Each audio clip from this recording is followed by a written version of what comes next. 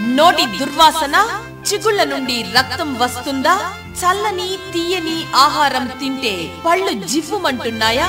పై సమస్యలకు పరిష్కారం సెన్సోరా tooth paste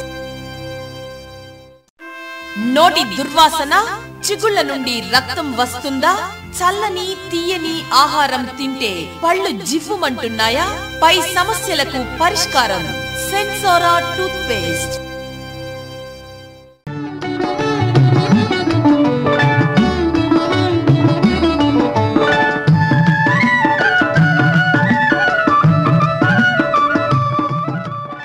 act ప్రేక్షకులకు నమస్కారం. గాన గంధర్వులు ఘంటసాల గారి వర్ధంతి ప్రత్యేక కార్యక్రమానికి స్వాగతం. ఘంటసాల పాట వినని తెలుగువారు ఉండరు ఆయన పాట అమృతధార. మరి అలాంటి ఘంటసాల గారి ఈ వర్ధంతి సందర్భంగా వారి యొక్క పాటలను వారి జీవిత మాటలను మనతో ప్రస్తావించడానికి ఘంటసాల గారి అభిమాని అదేవిధంగా ఘంటసాల గారి పాటలు పాడే మంచి గాయకులు రిటైర్డ్ ఏటీఓ ట్రెజరీ ఆఫీసర్గా పనిచేసిన వారు శ్రీ కనకరాజు గారు ఈరోజు మన ముందున్నారు. వారితో మాట్లాడి ఘంటసాల గారి జీవిత చరిత్ర అదేవిధంగా ఘంటసాల గారు ఆలపించిన మధురమైన గీతాలను వీరి యొక్క గానం ద్వారా మనం విందాం. నమస్కారం సార్. నమస్కారం సార్. యాక్టి టీవీ ప్రేక్షకులకు కూడా నా నమస్కారాలు. చెప్పండి కనకరాజు గారు. మరి ఘంటసాల గారు అంటే మనందరికీ ఆయన పాటలు ఎంతో ఇష్టం. మరి ఆయన పాటలు ఇప్పటికి కూడా మనం వింటూ ఉన్నామంటే నిజంగా ఆయన పాటలోని ప్రత్యేకత అదనమాట. మరి ఘంటసాల గారి గురించి వారి విశేషాలు వారి జీవిత విశేషాలు చెప్పండి. ఘంటసాల గారు పంతొమ్మిది వందల ఇరవై రెండు డిసెంబర్ నాలుగవ తేదీ కృష్ణా జిల్లా గుడివాడ దగ్గర ఉన్నటువంటి చౌటుపల్లి గ్రామంలో ఘటసాల సూర్యనారాయణరావు గారు మరియు రత్నమ్మ గారులకి జన్మించారు ఆయన. స్వతహాగా సూర్యనారాయణ గారు మృదంగ విద్వాంసుడు ఆయన.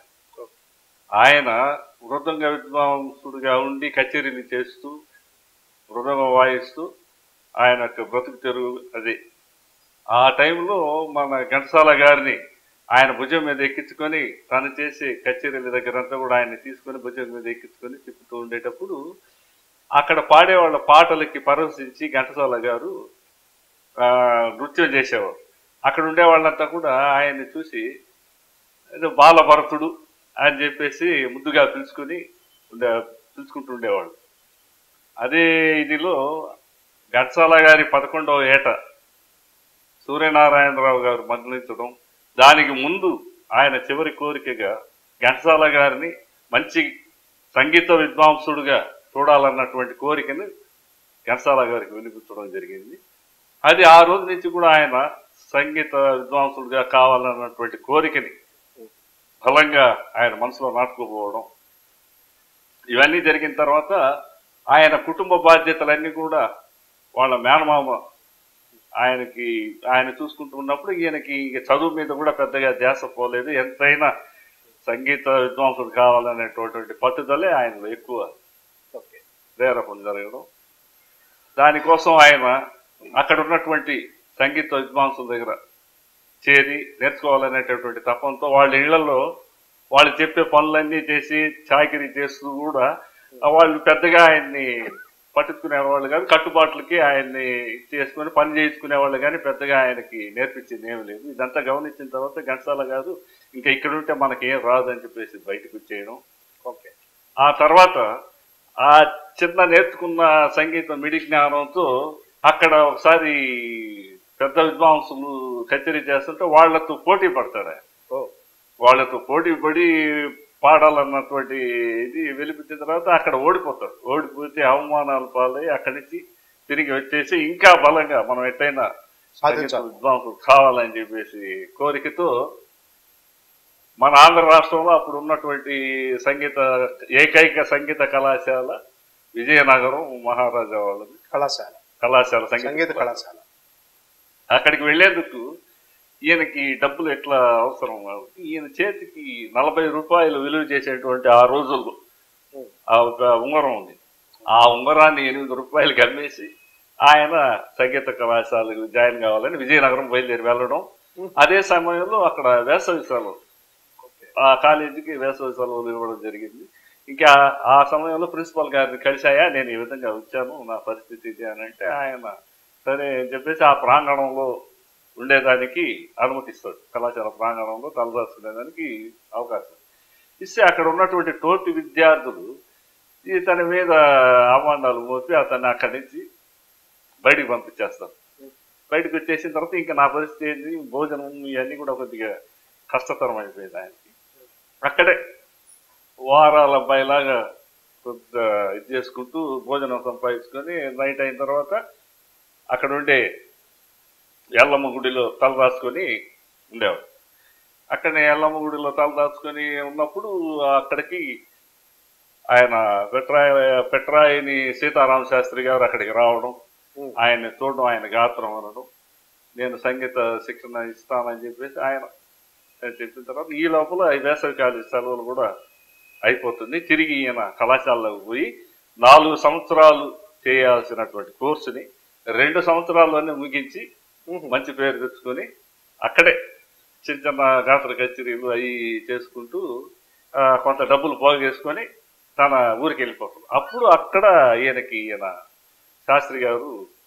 సీతారామ శాస్త్రి గారు పట్రాయని సీతారామ శాస్త్రి గారు తారసపడడం ఇంకా ఆయన దగ్గర సంగీతం నేర్చుకుని అది చేసుకున్న తర్వాత మరి ఘంటసాల గారి వివాహం ఎప్పుడు జరిగింది సార్? పంతొమ్మిది వందల నలభై నాలుగు మార్చి నాలుగవ తేదీ సావిత్రమ్మ గారితో ఆమె వివాహం జరిగింది. అంటే వాళ్ళ మేనమామ ఆ మేన మేనకోడలు. మేనకోడలు. సావిత్రమ్మ గారితో ఆమెకి వివాహం జరిపిస్తారు. జరిపించిన తర్వాత ఈయనకి ఇక ఎటు పోషణ లేదు.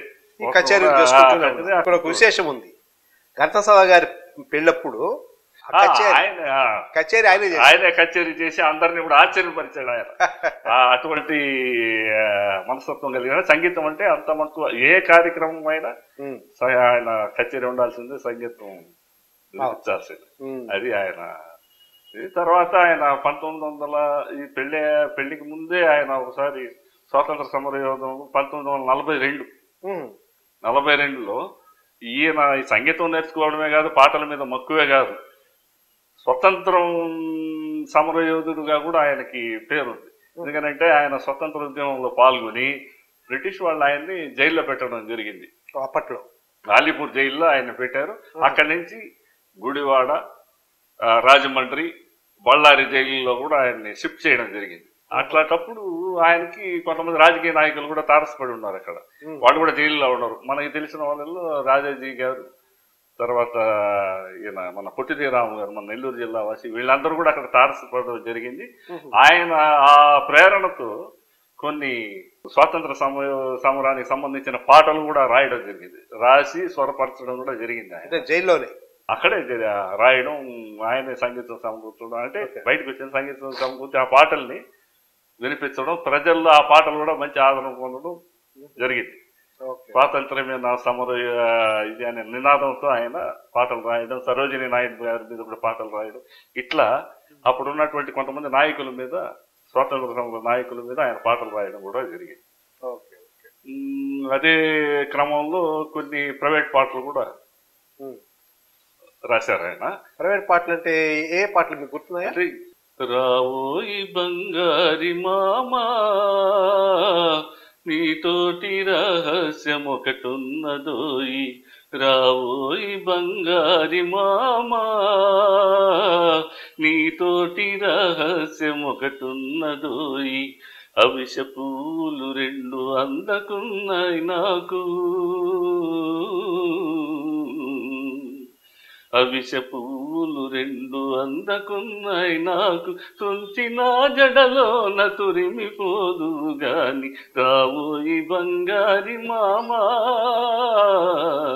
రావోయి బంగారి మావా రావోయి బంగారి మావా రావోయి బంగారి మామ. ఇవన్నీ. అదొక పాట.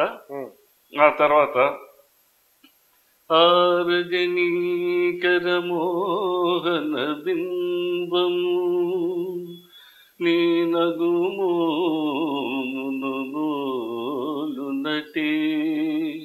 కొలనిలోని నినవ కమల దళములు నీ నయనముల బోలునటే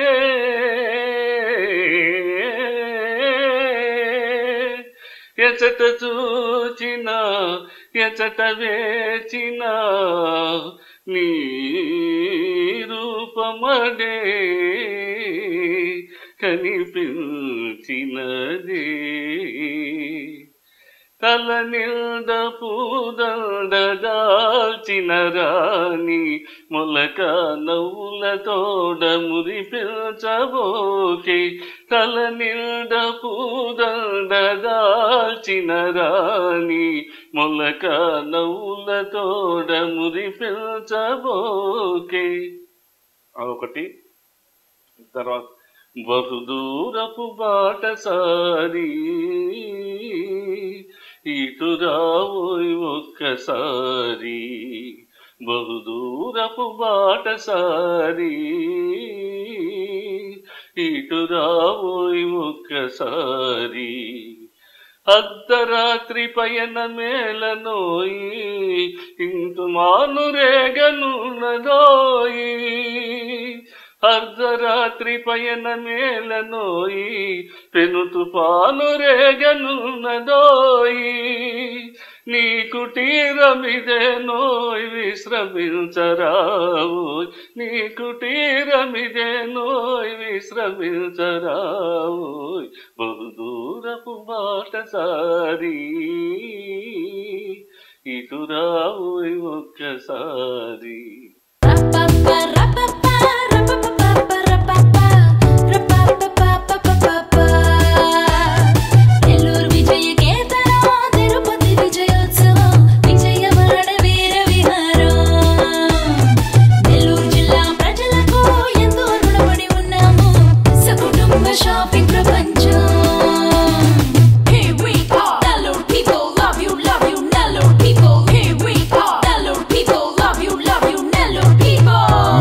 వస్త్ర వైభవాన్ని తెలుగు నేల నలుచెరగులా విస్తరిస్తోంది Subhamastu shopping mall. Subhamastu shopping mall DRC centre Nellore. మరి అత్తకి కోడలికి మధ్య ఒక సరదా సాంగ్ ఒకటి రాసి ఆయన రాయడం పాడడం జరిగింది కదా? అత్తలేని కోడలు తమ్మురాలు ఎమ్మా కోడలేని అత్త గుణవంతురాలు ఎమ్మా ఆహం ఆహం ఆహం. కోడల కోడల కొడుకు పెళ్ళమావు ఎమ్మా పచ్చి పాల మీద బిగడేదమ్మా? ఆహు ఆహు. Very good. తర్వాత వెంకటేశ్వర స్వామి మీద ఒక పాట పాడి ప్రైవేట్. గట్సాల గారి గురించి చెప్పుకోవాలనంటే ఆయన మన కలియుగ దైవమైనటువంటి వెంకటేశ్వర స్వామికి అమిత ప్రియతమైనటువంటి భక్తుడు ఆయన. ఆయన అభిమానించే దైవం. ఆయన పేరు వెంకటేశ్వరరావు. ఆయన పేరు దేవుడు వెంకటేశ్వర. కలియుగ దైవం. వెంకటేశ్వర స్వామి గారు అని అంటే ఆయనకి అత్యంత భక్తి. అదే విధంగా ఆయన ఆయన మీద కొన్ని ప్రైవేట్ పాటలు.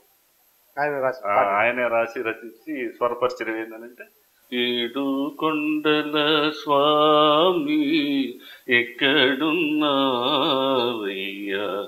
ఇన్ని మెట్లెక్కినా కానరావేమయ్యా? ఆ,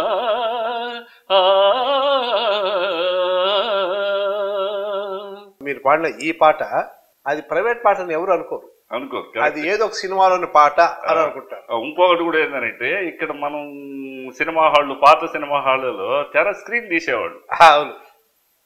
అంటే ఈ పాట వేస్తే స్క్రీన్ తీస్తున్నారు అని జనాలలో ఒక ఇది. అప్పట్లో సినిమా హాళ్ళు ఊరి మధ్యలో ఉన్నప్పుడు జనాలకి బాగా వినపడేది. అవును. సినిమా స్టార్ట్ అవుతుందంటే ఈ సౌండ్ అంటే పొల్యూషన్ గిల్యూషన్ ఏం లేదు కాబట్టి ఆ రోజుల్లో కనీసం ఒక ఆరు మైలు దాకా కూడా వినపడేది. అప్పుడు టైమింగ్ ప్రకారం వచ్చేది "అరే, సినిమా స్టార్ట్ అవుతుంది పదరా పదరా అని చెప్పేసి ఆ పాట వింటేనే. త్వరగా వచ్చేవాడు. ఆ పాట అనేది ఒక సింబాలిక్గా ఉండింది అప్పుడు. ఇప్పుడు మనకి థియేటర్లో కూడా. మీరు అన్నట్టుగా పల్లెటూళ్ళలో ఈ పాట వినిపించిన తర్వాత ఊళ్ళంతా వినిపిస్తుంది పాట. అప్పుడు జనాలందరూ "ఓ, సినిమా స్టార్ట్ సినిమా స్టార్ట్ అవుతుంది థియేటర్కి వస్తారు. ఫీలింగ్తో తర్వాత మన టౌన్లో నెల్లూరులో కావచ్చు ఇట్లా ఫస్ట్ ఆ పాట వేసి తర్వాత స్క్రీన్ తీసేవారు స్క్రీన్ తీస్తారు. ఆ పాటని అయిపోయిన తర్వాత సినిమా స్టార్ట్. అంత సెంటిమెంటల్గా సాంగ్ ప్రతి పాట సెంటిమెంట్ అన్నమాట. ఆ సినిమా. జనాలకు కూడా అప్పట్లో భక్తి ఎక్కువ కాబట్టి ప్రతి ఒక్కరు నెల్లూరు రాధామాధవ్. థియేటర్లో కానీ విజయలక్ష్మి థియేటర్ ఇటువంటి థియేటర్లో ముందు ఈ పాట వేసి సినిమా స్టార్ట్ చేశారు. అవును. అంత ఫేమస్ అయింది. అది ఘంటసాల గారి ఇది. తర్వాత ఆయన మ్యారేజ్ అయిపోయిన తర్వాత సినీ రంగ ప్రవేశం జరిగింది ఆయనది సినీ రంగ ప్రవేశం అంటే ఆయన అత్తగారి ఇట్లా ఉండేటప్పుడు ఒకసారి ఆ ఊరికి సముద్రాల రాఘవాచారి గారు కూడా అదే ఊరు ఆయన కూడా. ఆ సముద్రాల గారు ఆ ఊరికి రావడం అప్పుడు ఈయన ఘంటసాల గారు ఆయన పరిచయం చేసుకోవడం ఆయన గాత్రం వినిపించిన తర్వాత ఆయన ఆయన గాత్రంలోని మాధుర్యంని గమనించి నువ్వు ఇక్కడికి కాదు నువ్వు నాకు మద్రాసుకు వచ్చావంటే నీకు సినిమాల్లో ఛాన్స్ ఇప్పిస్తానని చెప్పి ప్రామిస్ చేయడం జరిగింది. సముద్రాలు ఆ తర్వాత సముద్రాల గారు వెళ్ళిపోయిన తర్వాత ఈయన ఒక రెండు నెలల వరకు కచేరీలు డబ్బులు కావాలి కదా. చెన్నై వెళ్ళాలంటే కొంత ఖర్చు అవుతుంది. అందుకోసం ఈయన కచేరీలు చేసి వివాహాల్లో వాటిల్లో అంతా కూడా కచేరీలు చేసి తీసి పెట్టుకున్న డబ్బులు జమ చేసుకొని ఆయన చెన్నై వెళ్ళడం జరిగింది. ఆ మద్రాసులో ఆయన సముద్రాల గారిని కలిసిన తర్వాత ఆయన చిత్తూరు నాగయ్య గారు బిఎన్ రెడ్డిని వాళ్ళ దగ్గర వాళ్ళ ఎదురుగా ఈయన కచేరీ చేయించి వినిపించిన తర్వాత వాళ్ళు కూడా ఈయనలో టాలెంట్ గమనించి మేము అవకాశం వచ్చినప్పుడు మీకు తప్పకుండా పిలుస్తాం నీకు ఛాన్స్ ఇస్తామని చెప్పేసి ప్రామిస్ చేయడం జరిగింది. ఈ లోపల ఆయన దాన్ని వదిలేయకుండా చిన్న అన్వేషణ సాగిస్తూనే అవకాశం. చూస్తున్నాడు. ఈయనకి ఏంటంటే ఆ పీరియడ్లో భోజనాలకి వాటికి వీటికి కొద్దిగా ఇబ్బందిగా ఉంటే ఆ పండగల పార్క్లోనే ఉండేదానికి స్థలం కావాలి కదా. అకామిడేషన్ కావాలి. ఆయన ఉండి ప్రయత్నాలు చేసుకునేదానికి అకామిడేషన్ కావాలి కాబట్టి అక్కడ ఉండే వాచ్మెన్ ఒక రెండు రూపాయలకి ఒప్పందం కుదుర్చుకొని పగలంతా ఈయన అన్వేషణ చేసిన తర్వాత నైట్ వచ్చి అక్కడ ఎదురించి అక్కడే పడుకొని నిద్రపోయి మళ్ళీ ఉదయాన్నే అన్వేషణ ప్రారంభించేవాడు. ఆ తర్వాత రాఘవాచారి గారు ఏం చేశారంటే సముద్రాల గారు ఘంటసాల గారిని తీసుకొని ఒక ఆ మద్రాస్ రేడియో కేంద్రంలో లలిత సంగీత ఇదిగా ఆయన జాయిన్ చేస్తారు. ఫస్ట్ ప్రవేశం. మద్రాసు రేడియో స్టేషన్లో ఆయన్ని ఆయన గాత్రం లలిత సంగీతానికి పాడేటట్టుగా పాడేటట్టుగా సముద్రాల గారు ఏర్పాటు చేయడం జరిగింది. ఈ లోపలే ఈయన రేడియో రికార్డింగ్ వాళ్ళు రికార్డింగ్ సంస్థ వాళ్ళు ఘంటసాల దగ్గర పాట పాడించడం జరిగింది ఆ పాట విన్న తర్వాత వాళ్ళు ఈయన వాయిస్ సూటబుల్ కాదు సినిమా సెట్ కాదు. కాబట్టి ఇది ఈయన వాయిస్ పనికిరాదు అని చెప్పేసి ఆయన్ని డిస్క్వాలిఫై చేస్తారు. అప్పుడు ఆయన ఇంకా నిరాశ అనేది ఆగించిన తర్వాత. సరే ఇక ఎటు ఆయన రేడియో స్టేషన్లో లలిత సంగీతం ఆయన చేస్తున్నాడు కాబట్టి ఈయన వాయిస్ని మన ప్యాకెట్ శివరాం గారు ఆయన పాట విని. ప్యాకెట్ శివరాం గారు ఆ హెచ్ఎంఈ సంస్థలు ఆ, పేకెట్స్ అంటే నాకు గుర్తొచ్చింది ఆయన ఒకసారి మన ఘంటసాల గారు ఘంటసాల బలరామయ్య ప్రొడ్యూసర్ మన నెల్లూరు ఆయనే అక్కినే నాగేశ్వరరావుని తెరకు పరిచయం చేసిన ఆయన సీతారామజన సినిమా ద్వారా. ఆయన ఆఫీస్కి ఈయన వెళ్ళారు ఘంటసాల గారు. వెళ్ళి అక్కడ పేకెట్ శివరామరావు పేకెట్ శివరాం వచ్చి మన ఆఫీస్ ఇన్ఛార్జ్. అక్కడికి వెళ్ళి "ఆ, నమస్కారం చేస్తే ఎవరండి మీరు? అన్నాడు పేకెట్ శివరావు ఘంటసాల గారు. ఏ నా పేరు ఘంటసాల వెంకటేశ్వరరావు. అని అనగానే ఓహో అట్లయితే మా మా ఓనర్ ఘంటసాల బలరావు గారు బంధువు అయి ఉంటామని రెండు నన్ను కూర్చోబెట్టి ఆయనకి టిఫిన్ భోజనాలు పెడుతూ ఉంటే అప్పుడు ఘంటసాల బలరామ గారు వచ్చారు. ఎవరండి ఈ కుర్రాడు అంటే మీ బంధువేనండి ఘంటసాల వెంకటేశ్వరరావు అని అన్నారట. ఇంటి పేరు ఒకటి. ఘంటసాల వెంకటేశ్వరరావు. "ఆ, ఎవరు బాబు నువ్వు అంటే సార్ నా పేరు ఘంటసాల వెంకటేశ్వరరావు. నేను పాటలు పాడడానికి మీ కంపెనీకి వచ్చిన అవకాశం ఇవ్వండి అని అంటే "ఆ, సరే మా ఇప్పుడైతే చెప్పలేము కానీ తర్వాత చెప్తాము అని చెప్పి ఆ సినిమాలో ఏది సీతారామజనం సినిమాలో మన ఘంటసాల గారికి ఒక రైతు పాత్ర ఇచ్చారు. ఏది? నటుడుగా. నటుడిగా. నటుడుగా ఇచ్చారు. గాయకుడిగా కొన్ని కొరస్ పాటలు అవి కోరస్ పాటలు పాడారు. పాడారు. ఆ విధంగా ఆయన ఘంటసాల బలరాం అయితే ఘంటసాల గారి పరిచయం అలా అలా అంటే ఇంటి పేరు ఒకటిగా ఉండేటప్పుడు అది కూడా కలిసి వచ్చింది ఆయనకి. మరి ఆయన మొదటి పాట ఎప్పుడు పాడారు? ఎక్కడ పాడారు? ఆయన మొదటి పాట స్వర్గసీమ సినిమాలో ఇదే వీళ్ళు మాట ఇచ్చారు కదా మన బిఎన్ రెడ్డి చిత్తూరు. నాగయ్య గారు. వాళ్ళు వచ్చేసి చేసినప్పుడు వాహిని స్టూడియో వాళ్ళు ఆ స్వర్గసీమ సినిమా తీస్తున్నప్పుడు ఘంటసాల గారిని భానుమతితో కలిసి పాడేందుకు ఆ, పిలవడం జరిగింది వచ్చింది ఆ గాత ఆయన భానుమతి గారితో కూడా కలిసి పాడాలనంటే కొద్దిగా భయపడ్డాడు ఆయన అంటే అప్పటికే ఆమె సీనియర్ గాయని ఆమె పాడుతూనే నటిస్తూ ఉన్నటువంటి గాయని నటి. నటి ప్లస్ గాయని ఆమె మంచి సంగీత. బహుముఖ ప్రజ్ఞాశాలి. ప్రముఖ ప్రజ్ఞాశాలి కనుక ఆమె దగ్గర పాడాలంటే భయపడ్డాడు ఆయన అప్పుడు భానుమతి గారు చిత్తూరు నాగయ్య వీళ్ళందరూ కూడా ఆయనకి ధైర్యం చెప్పి భయపడాల్సిన అవసరం లేదు. మీరు పాడండి అని చెప్పేసి ఆయన ప్రోత్సహించి పాడించడం జరిగింది. ఓ నా రాజా ఓ నాజా రావో. నా రాజా అంటే ఆమె పాడిన తర్వాత ఆ, ఈయన సిహెచ్ నారాయణ గారికి ఆ. పాటలో ఆయనకి ఈయన పాడాలా? ఘంటసాల గారి గాత్రం సిహెచ్ నారాయణ గారికి. పాడడం జరిగింది. అంటే ఫస్ట్ పంతొమ్మిది వందల నలభై ఆరులో స్వర్గసీమ పంతొమ్మిది వందల నలభై ఆరులో ఆయన స్వర్గసీమ సినిమాలో ఫస్ట్ ఎంట్రీ. గాత్రాన్ని ప్లేబ్యాక్ పాడడం ఆయన. ఫస్ట్. అది ఘంటసాల గారు. అది బిఎన్ రెడ్డి గారి డైరెక్షన్. అందులో బిఎన్ రెడ్డి గారి డైరెక్షన్ వాహిని ప్రొడక్షన్స్. మంచి పెద్ద బ్యానర్ అప్పుడు. వాహిని వాహిని. అంటే. దాంట్లో ఫస్ట్ ఎంట్రీ ఎంట్రీ. వాళ్ళు ఆయనకి అవకాశం కల్పించడం. భానుమతి గారితో ఆయన ఫస్ట్ పాడడం. ఆ తర్వాత అక్కడి నుంచి కొద్దిగా నెల తిప్పుకుని కొంత ఆయన టాలెంట్ విన్న తర్వాత. ఆయన సి సుబ్రహ్మ సిఆర్ సుబ్రహ్మణ్యం గారి దగ్గర. అసిస్టెంట్గా చేరాడు ఆయన అంటే సి డైరెక్టర్. సుబ్రహ్మణ్యం గారు అని అంటే దేవదాస్ ఫేమ్ ఆయన మనకి తెలిసిన మన ఇదిలోకి వచ్చినప్పటికీ దేవదాస్ ఆయనకి మంచి ఆ ఘంటసాల గారు పాటలు కూడా దాంట్లో చాలా మంచి పాటలు ఉన్నాయి. రంగు రంగుల చిరునవ్వుల సంతోషమే సరదాల సంతోషం ఆనందమే. మనసుకు నచ్చేలా నచ్చేది దొరికేలా.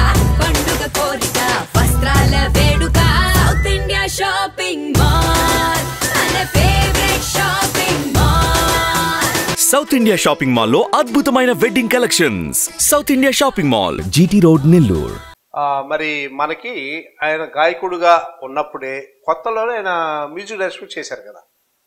అందులో కీలుగుర్రం సినిమాకి మ్యూజిక్ డైరెక్షన్ మ్యూజిక్ డైరెక్షన్ చేసి అంత ముందు ఆయన లక్ష్మమ్మ కథ అనే సినిమా చేశారు కానీ అక్కినే నాగేశ్వరరావు గారికి స్టార్ సినిమా. నా ఆత్మ అని చెప్పుకునేటటువంటి అక్కినే నాగేశ్వరరావు గారికి ఆయన కీలు గుర్రం సినిమాలో. కదా ఆయన మ్యూజిక్ డైరెక్షన్లో పాడారు. ఆ పాట ఒకసారి పాడిపించండి కాదు సుమా కల కాదు సుమా. కాదు సుమా కల కాదు సుమా. అమృతగానమును అమృతపానమును అమృతపానమును అమరగానమును కాదు సుమా కల కాదు సుమా.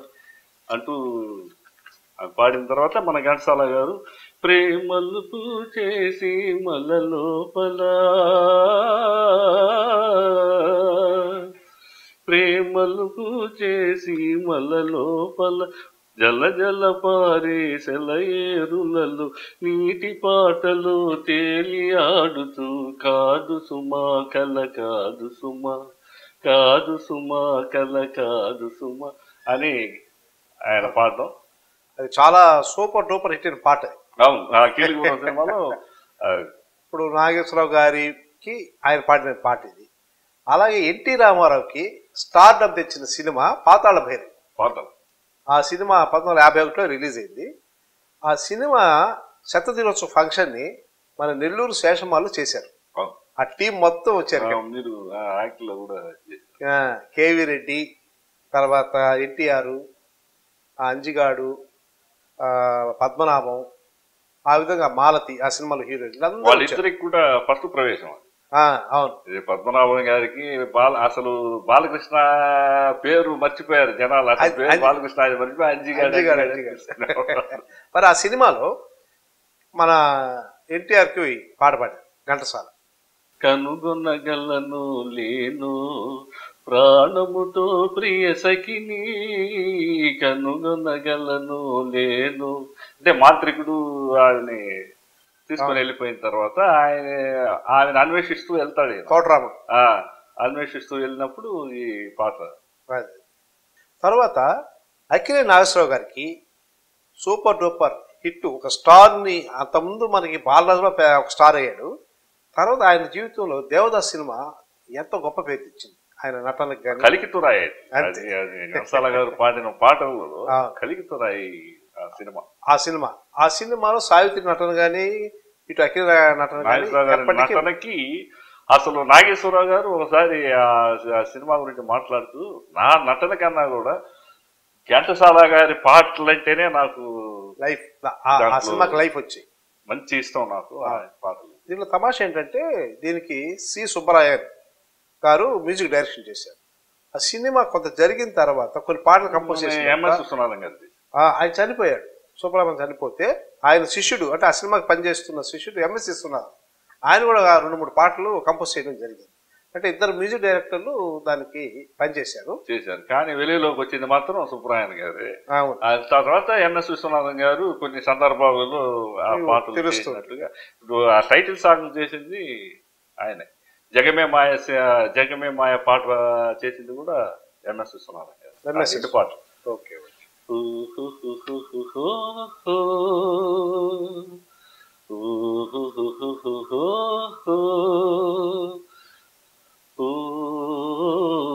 దేవదా ఓ పార్వతి చదువు ఇదేనా మనవాసి వదిలేసి అసలు దొరలే చూటుబూట మనవాసి వదిలేసి అసలు దొరలే చూటుబూట ఓ దేవద ఆ పాటకి మ్యూజిక్ కంపోజిషన్ కంపోజ్ చేసింది ఎంఎస్ విశ్వనాథం గారు. ఇది జగమే మాయ జగమే మాయ కూడా ఆయనే. చేశారు. ఆయన జగమే మాయా బ్రతుకి మాయా వేదాలలో సారమిల్తేనయా జగమే మాయా బ్రతుకి మాయా వేదాలలో సారమిల్తేనయ్యా జీవిల్తేనయ్యా అంటూ ఆయన గానం చేసింది ప్రాణం పోసింది ఆ పాట. ఆ పాటలు ఆ సినిమాకి ఆ గానం అనేది ఆ దానికి నాగేశ్వరరావు గారి నటనకి ప్రాణం పోసింది. ఆ తర్వాత వచ్చింది మాయబజార్. ఈ మాయబజార్ పంతొమ్మిది వందల యాభై ఏడులో వచ్చింది దేవదాస్ వచ్చి పంతొమ్మిది వందల యాభై మూడులో వచ్చింది. దాంట్లో కూడా ఘంటసాల మ్యూజిక్ చేశారు దీన్ని కూడా ఇద్దరు మ్యూజిక్ డైరెక్టర్. ఫస్ట్ సాలు రాజేశ్వరరావు గారు దాని మ్యూజిక్ చేశారు. ఆయన- ఆయన రెండు మూడు పాటలు చేసేసి వెళ్ళిపోయారు. తర్వాత ఘంటసాల గారు ఎంటర్ మళ్ళీ దాన్ని కంప్లీట్ చేశారు. దాంట్లో మంచి పాటలు అందులోంచి ఒక పాట. దాంట్లో అభిమన్యుడికి ఆయన శశిరేఖ. ఆయన ఈ మాయా బాక్స్. పెట్టే. బహుమతిగా శశిరేఖకి ఇచ్చి ల్యాప్టాప్ మనకి. ఓపెన్ చేస్తుంది దాంట్లో దాని ప్రత్యేకత ఏంటంటే ఎవరెవరి మనసుల్లో ఎవరు ఏమేమి. అనేది అది వెలుగుచ్చేది అన్నమాట దాంట్లో ఓపెన్ చేస్తానే అభిమన్యుడు కనబడు నాగేశ్వర ఘంటసాల గారు నీవేనా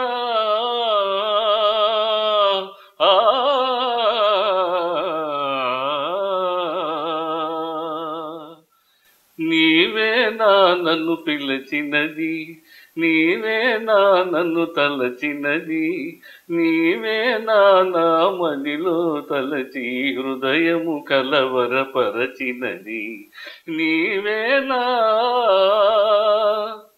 వెరీ గుడ్ తర్వాత దీనికంటే ముందు మాయాబజార్కి ముందు దేవదాస్కి మధ్యలో అనుకుంటా దాంట్లో మల్లీశ్వరి. ఆ, మల్లీశ్వరి. అది కూడా మంచి మ్యూజికల్ హిట్ పిక్చర్ మల్లీశ్వరిలో మల్లీశ్వరి సినిమాలకి ఘంటసాల గారి పాటికి సాలూరు రాజేశ్వరరావు గారి మ్యూజిక్ మంచి కాంబినేషన్ మంచి కాంబినేషన్లో మంచి పాటలు అందులో ఒక్క పాట. ఒకటి గగన సీమలో తేలు ఓ మేఘమాల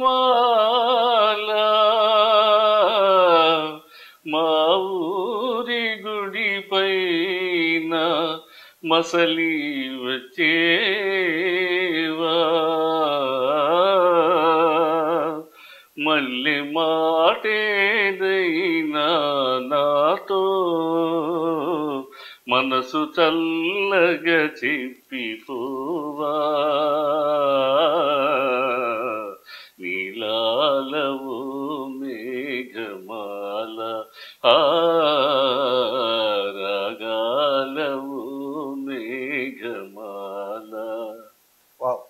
నిజంగా ఈ పాటలు అప్పట్లో ఎంత హిట్ అయినాయంటే చాలా సూపర్ హిట్. ఈ పాటలే ఆ సినిమా హిట్ చేయడానికి కారణం ఉందన్నమాట. ఇంకోటి ఏంటంటే ఈ సినిమాలో ఒక ప్రత్యేకత ఒక పాట ఆయన రాజేశ్వరరావు గారు ఘంటసాల ఆయన జనరల్గా రాజేశ్వరరావు గారు ఏఎం రాజా అభిమాని. ఏఎం రాజా దగ్గర పాడించడం అనేది ఫస్ట్ నుంచి ఆయనకి. ఎందుకంటే ఆయన పాడే సరళిలోనే పాడతాడు. ఈయన ఘంటసాల గారు ఆ భానుమతి గారితో పాడిన భానుమతి గారు చాలా బేస్ వాయిస్. ఘంటసాల గారు ఆ బేస్ వాయిస్లో దిగి పాడాలంటే కొద్దిగా ఇబ్బంది పడుతున్నప్పటికి ఆయన రెండు మూడు సార్లు చూసి మీరు పాడకపోతే నేను ఏం రాజా దగ్గర పాడించేస్తాను. కానీ బిఎన్ రెడ్డి ఒప్పుకోలేదు. బిఎన్ రెడ్డి తగా వేసి ఆయన దగ్గర ఆ పాట పాడారు పాడించాడు ఆయన. పాడిస్తే అది అత్యంత అద్భుతంగా వచ్చింది పాట. అది ఆ రోజు అంత కష్టపడి పాడారు కాబట్టి ఇప్పటికీ నిల్చున్నాయి ఆ ఆ పాట. పాటలు. మరి అదే విధంగా మనకి అనార్కలి. ఆ, చిత్రంలో కూడా ఘంటసాల పాట బ్రహ్మాండంగా హిట్ అయ్యి.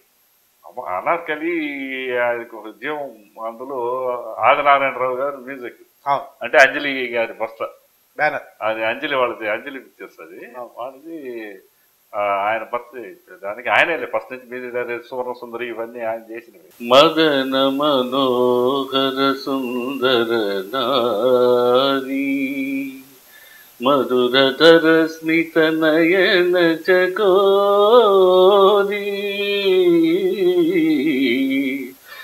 మనగమన జిత రాజమరాళి నాట్యమయూరి.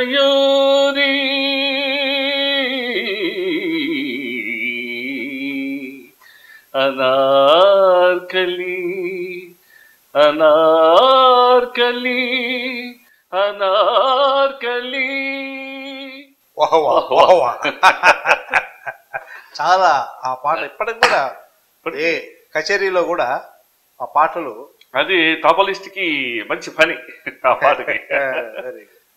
ఘంటసాల గారు మంచి పాట వెంకటస్వామి మీద పాడారు ఆయన. ఆయనే యాక్ట్ చేస్తూ అవును పాడిన పాట. అది ఆ పాట ఒకసారి. శేషశైలవాస శ్రీ వెంకటేశ శయన్యూతుమాయ్యా శ్రీ సిద్విలాస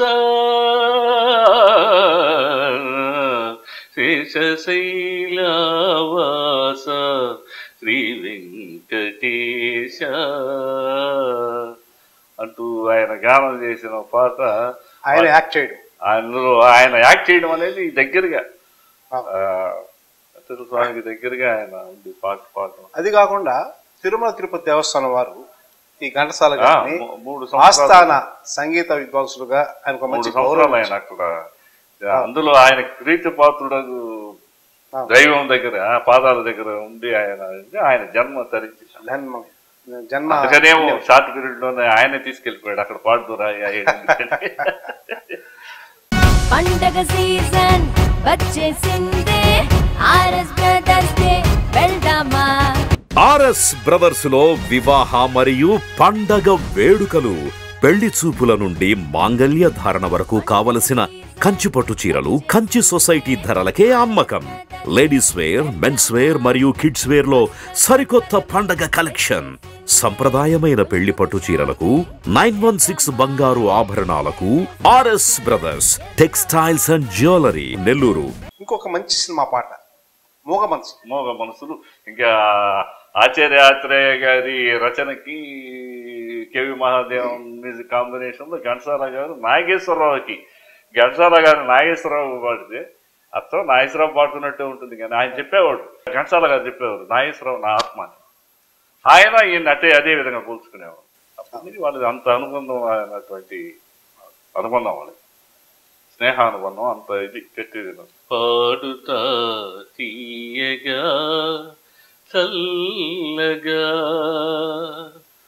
పాడుతా తీయగా చల్లగా పసిపాపలా నిదరపో తల్లిగా బంగారు తల్లిగా పాడుతా తీయగా చల్లగా.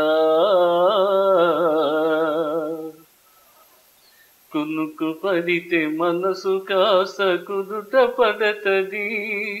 కుదుట పడ్డ మనసు తీపి కలలు గంటది కుదుట పడితే మనసు కాస్త కలలు గంటది కలలు గన్న మనసు తీపి కలలు గంటది కలలే మనకు మిగిలిపోవు కలిమి చివరకు.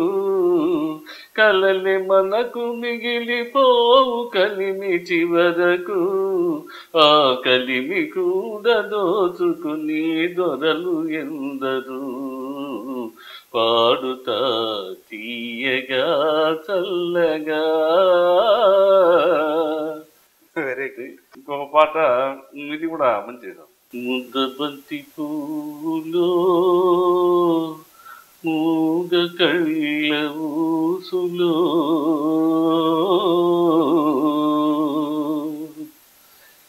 ముద్దబంతి పువ్వులో మూగ కళ్ళ ఊసులు.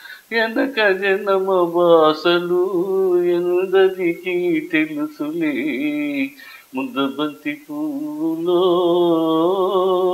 పూల పూలదండలో దారం దాగుందని తెలుసును. పాల గుండెలో ఏది దాగుందో తెలుసునా. ఆ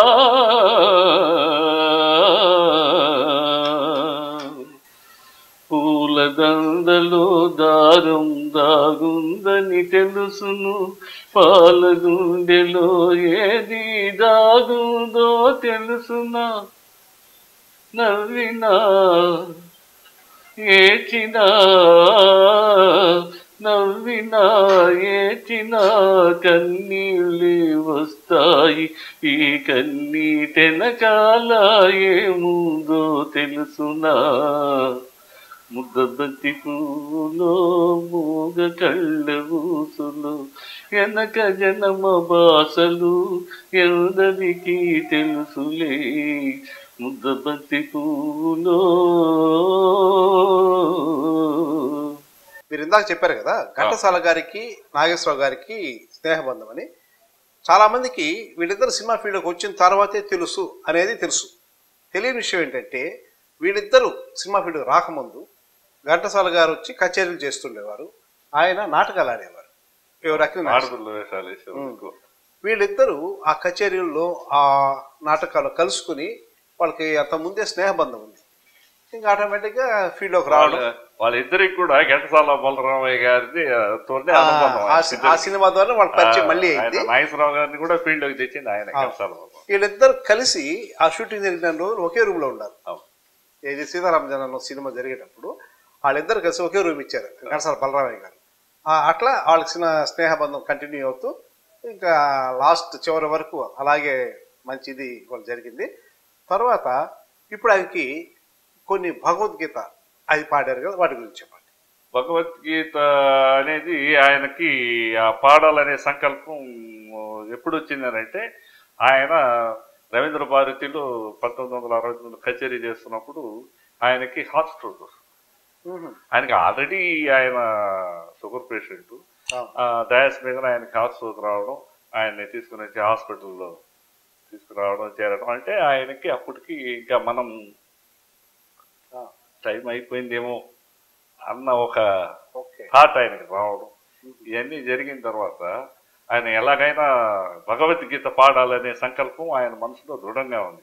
తర్వాత ఆయన హాస్పిటల్లో చేరడం అక్కడి డిశ్చార్జ్ బయటకు వచ్చేసిన తర్వాత పంతొమ్మిది వందల డెబ్బైలో ఆయన చేసినటువంటి సేవలన్నీ గుర్తించి కేంద్ర ప్రభుత్వం పద్మశ్రీ అవార్డు మన ఆంధ్ర వాసి అయినటువంటి వివి గిరి గారి చేతుల మీదుగా అప్పటి రాష్ట్రపతి. అప్పుడు రాష్ట్రపతి ఆయన వివి గారి గిరి చేతుల మీద పద్మశ్రీ అవార్డు అందించడం జరిగింది. ఆ తర్వాత ఆయన భగవద్గీత పాడాలనే సంకల్పంతో ఇక సినిమా పాటలు వదిలేసి భగవద్గీత పాడదామని నిశ్చయించుకున్న టైంలో కొన్ని పిక్చర్లు కాంట్రాక్ట్ మిగిలిపోయినాయి.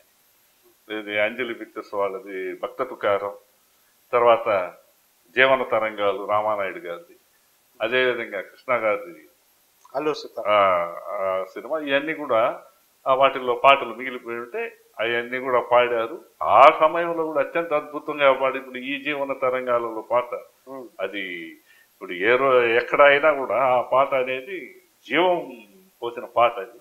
అటువంటి పాటలు కూడా లాస్ట్ మూమెంట్లో ఆయన అత్యంత అద్భుతంగా పాడారు. తర్వాత ఆయన డెబ్బై మూడులో భగవద్గీత. పాడడం జరిగింది. భగవద్గీత చేస్తూ ఆ ట్రాక్ అంతా అయిపోయి అంత అయిపోయిన తర్వాత కంప్లీట్ అయిపోయిన తర్వాత ఆయన డెబ్బై నాలుగు. నాలుగులో ఫిబ్రవరి పదకొండవ తేదీ ఆయన. మరణించడం జరిగింది. ఆ తర్వాత ఆయన ఆ పాట అన్ని కూడా భగవద్గీత ఎక్కడ పట్టినప్పుడు ఈ రోజు అది ఎవరు కూడా దాన్ని తాకలేదు. పెద్ద పెద్ద గాయకులంతా ట్రై చేశారు. భగవద్గీత పాడాలా చేయాలా అని. ఎవరి వల్ల కాలేదు ఏ భాషలో ట్రాన్స్లేషన్ చేసినారు ఆ భాషలో ఉన్న ప్రముఖ గాయకులు పాడాలన్నా కూడా ఎవరి వల్ల కాలేదు. అది ఇంకా అది చిరస్థాయి అనమాట అది ఆయన- ఆయనకే సొంతం ఆయనకే అంకితం కూడా. ఆయన దాన్ని మనకు అంకితం చేసేసి ఆయన వెళ్ళిపోయినాడు. కనీసం దాన్ని ఆయన విన్న కూడా విన్న లేదు అనేది రికార్డింగ్ మాత్రం టాక్. చేశారు. అదొక టాకు.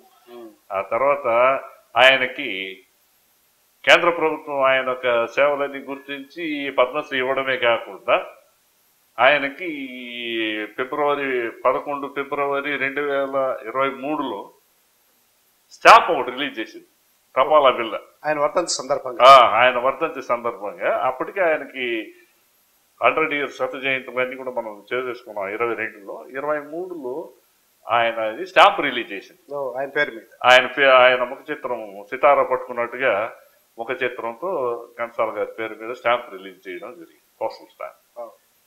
ఇవన్నీ కూడా ఎవరికో కొంతమందికి అటువంటి గౌరవాలు దక్కుతూ ఉంటాయి. ఇప్పుడు ఇప్పుడు పరిస్థితులు వేరండి. అప్పుడు ఆయన అన్ని సంవత్సరాల నుంచి ఎప్పుడు చిత్రసీమ టాకీ మూవీస్ స్టార్ట్ అయినప్పుడు కానీ అప్పుడు ఎవరికి వాళ్ళు పాడుకుంటుండేవాళ్ళు. ఇప్పుడు అప్పుడు ఎవరైతే పాడగలరో అందం చూసేవాళ్ళు కాదు. నటన చూసేవాళ్ళు ఆ రోజు. నటన చూసి వాళ్ళు ప్లే బ్యాక్ ఇవన్నీ కూడా చిత్ర నాగయ్య సిహెచ్ నారాయణరావు గారు వీళ్ళంతా సొంతంగా పాడుకునే రఘురామయ్య గారు కానీ వీళ్ళంతా సొంతంగా పాటలు పాడుకుని యాక్ట్ చేసేవాళ్ళు ఆ రోజు. ఆ. తర్వాత ఘంటసాల గారు వచ్చిన తర్వాత ప్లే బ్యాక్ అనేది ఇంకొకరికి ఈయన గాత్రంతో పాడి వినిపించేది ఉన్నా కూడా ఈయన వచ్చిన తర్వాత ఫేమస్ అయింది అది. ఈయన పాడే పాటలు రికార్డింగ్లో రావడం అత్యంత అద్భుతంగా ఉండడం పాటలు వినేదానికి శ్రావానికి మంచి ఇదిగా ఉండడం. అవన్నీ కూడా తోడై మనకి ఈ రోజు డెబ్బై నాలుగు వరకు కూడా ఆయన పాడిన పాటలు ఆయన ఆయన ఉన్నంత వరకు అది చిరస్థాయి. ఆయన సంగీతానికి సినీ ప్రపంచంలో సంగీతం ఉన్నంత వరకు ఆయన చిరస్థాయిగానే ఉండిపోతారు తర్వాత ఆయన యాభై రెండేళ్ళకి చనిపోవడం జరిగింది. అది చాలా దురదృష్టకరం. చాలా చిన్న వయసు ఇంకా ఆయనకి చాలా అప్పటికి కూడా మర్చిపోలేదు. ఆయన చనిపోయిన తర్వాత నాగేశ్వరరావు గారికి ఎవరు పాడాలా రామారావు గారికి ఎవరు పాడాలా అనే క్వశ్చన్ మార్క్ ఉంది. అంటే పాడితే మెప్పించగలరా? అంటే ఆయన నాగేశ్వరరావు గారు పాడుతుంటే నాగేశ్వరరావు పాడుతున్నట్టే ఉండేది. రామారావు గారు గారు పాడితే ఆయన అట్నే పాడుతుంది రామారావు గారికి పద్యాలు అత్యంత అద్భుతంగా పాడినాడు ఆయన పౌరాణిక సినిమాల్లో పద్యాలు చిన్న పద్యాలు కాదు. ఇప్పుడు ఈ కృష్ణార్జున యుద్ధం కానీ నర్తనశాల కానీ పాండవ వనవాసం కానీ పాండవీయం కానీ ఇవన్నీ కూడా చాలా అద్భుతమైన అద్భుతమైన పాటలు పద్యాలు, పాటలు, శ్లోకాలు అన్ని బాగా. అవన్నీ మచ్చు తునకలై అది ఎవరు వాటి జోలికి పోయి పాడగల ఇది లేదు. ఓకే సార్ ఈరోజు నిజంగా మనం ఆయన గానగంధర్వు ఘంటసాల గారి వర్ధంతి సందర్భంగా ఈరోజు మీరు మా స్టూడియోకి రావడం వారి యొక్క జీవిత విశేషాలని అదేవిధంగా వారు పాడిన కొన్ని అద్భుతమైన పాటల్ని మాకు వినిపించారు. మా యాక్టివ్ ప్రేక్షకుల తరపున మీకు ప్రత్యేకమైన ధన్యవాదాలు సార్. థ్యాంక్ యూ నేను కూడా నాకేంటంటే నేను నాకు తెలిసిన దాన్ని మనసులోనే పెట్టుకోకుండా నన్ను ఈ స్టూడియో వరకు రప్పించి నన్ను ఇంటర్వ్యూ చేసి నా మనసులో ఉన్నటువంటివన్నీ కూడా మీ ఛానల్ ద్వారా అందరికీ వినిపించేటట్టుగా చేసినందుకు మీకు కూడా మెనీ మెనీ థ్యాంక్స్ ఇదండి ఈనాటి గాన గంధర్వులు ఘంటసాల గారి వర్ధంతి ప్రత్యేక కార్యక్రమం. మరో ప్రత్యేక కార్యక్రమంలో మరో ప్రత్యేక అంశంతో మీ ముందుంటాను. అంతవరకు సెలవు. నమస్కారం. మీ సింగం శెట్టి మురళీమోహన్.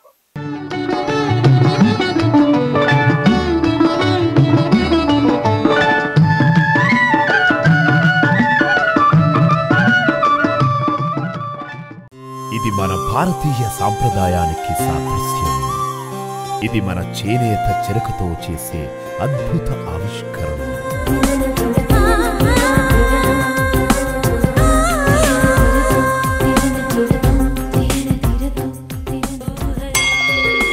మాస్టర్ వీవర్స్ మరియు మగ్గం ధరలకే కంచిపట్టు చీరలు ఫ్యాక్టరీ ధరలకే ఫ్యాన్సీ శారీస్ అండ్ చుడిదార్స్ మహిళలకు ప్రత్యేక వస్త్రాలయం Kanchi Kamakshi. Magunta layout mini bypass Nellore.